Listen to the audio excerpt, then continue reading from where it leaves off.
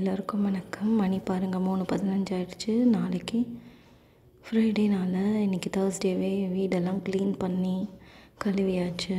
இதான் க்ளீன் பண்ணதுக்கப்புறம் வீடு எப்படி இருக்குது பாருங்கள் அதுக்கப்புறம் என் ஹஸ்பண்ட் வந்து முருங்கையில் எடுத்துகிட்டு வந்திருந்தாரு. இதை வந்து நான் கழுவி வாஷ் பண்ணி வச்சுருக்கேன். இதை காய வைக்கணும். நல்லா காய வச்சு பவுடர் பண்ணணும். அப்புறம் நிறைய கொத்தமல்லி வேறு கொண்டு வந்துட்டார். அதை வேறு பிச்சு வச்சுருக்கேன். அண்ட் இன்றைக்கி மதிய சாப்பாடு வந்து பூண்டு குழம்பு செஞ்சுருந்தேன். அப்புறம் கொஞ்சம் முருங்கைக்கீரை எடுத்து தேங்காய் பூலாம் போட்டு கூட்டு செஞ்சுருந்தேன். ஒயிட் ரைஸு க்ளீன் பண்ணனால சாப்பிட்றதுக்கு டைமே இல்லை. ஸோ க்ளீன் பண்ணிவிட்டு அதுக்கப்புறம் சாப்பிட்டுக்கலான்னு நினச்சா மணி மூணு பதினஞ்சு ஆயிடுச்சு. அது மட்டும் இல்லாமல் ஆல்ரெடி ப்ரீவியஸ் வீடியோஸில் காட்டின மாதிரி இந்த குளியல் பொடிக்காக செஞ்சு வச்சுருக்கேன். அப்புறம் மருதாணி இலை வேறு எடுத்து வச்சுருக்கேன் காய வைக்க மாடிக்கு துணி காய போட வந்தாச்சு. கொஞ்ச நேரம் துணி காய போடுறதுக்கு முன்னாடி உட்காந்துருந்தா தான் ரிலாக்ஸாக இருக்கும். ஏன்னா மாடி ஏறி வந்தது எப்படியும் மூச்சு வாங்கும்.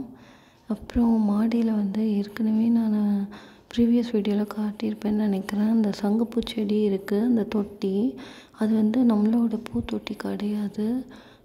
ஓனர் ஆண்டியோடது அதில் நிறையா எப்பயுமே பூ பூக்கும். எனக்கு தேவைப்படும் போது அதை நான் பறிச்சுக்குவேன் டீ போட்டுக்குவேன். அப்புறம் சாமி முன்னாடி வைப்பேன்.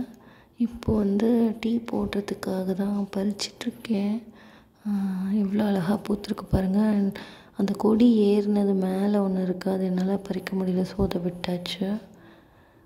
இப்போது ஆல்ரெடி கழுவி வாஷ் பண்ணி வச்சு இதை வந்து காய வைக்கணும். என்கிட்ட வேறு பாத்திரம் இல்லை. அதனால் இந்த சின்ன பிளாஸ்டிக் பாக்ஸில் தான் கொஞ்ச நேரம் காய வச்சுட்டு அதுக்கப்புறம் அதை எடுத்து ஒரு துணியில் வந்து காய வைக்கணும். நிழல்ல நிழல்ல அதை காய வச்சா தான் அது நல்லா காயும் அப்படின்னு சொல்லி சொன்னாங்க.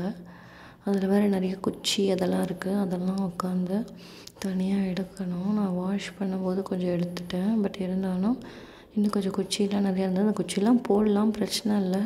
பட் வந்து திருப்ப திருப்ப அரைக்கிற மாதிரி இருக்கும். ஸோ இந்த பெரிய பெரிய குச்சி அதெல்லாம் வந்து எடுத்துடலாம். ரொம்ப சின்ன குச்சியை விட்டுடலாம். எல்லா வேலையும் முடிச்சுட்டு நான் சாப்பிட்றதுக்கு மணி நாள் ஆகிடுச்சு பாருங்கள் நான் குச்சி அதெல்லாம் எடுத்துகிட்டு ஒரு ரேஷன் சேனையில் வந்து அதை விரிச்சிட்டேன். வீட்டுக்குள்ளேயே.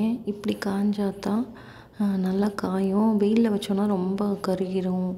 ஸோ அதனால் இந்த மாதிரி நல்லா காய வச்சுக்கலாம். இது வந்து இந்த பொடியை அரைச்சி நம்ம தலைக்கு கூட யூஸ் பண்ணிக்கலாம். ஃபேஸுக்கு அப்புறமா நம்ம சாப்பாட்டில் கூட இந்த பொடியை யூஸ் பண்ணலாம். அது வந்து இன்னொரு வீடியோவில் தனியாக காட்டுறேன். இந்த வீடியோ பிடிச்சிருந்தால் லைக் பண்ணுங்கள் ஷேர் பண்ணுங்கள் சப்ஸ்கிரைப் பண்ணுங்கள் தேங்க்யூ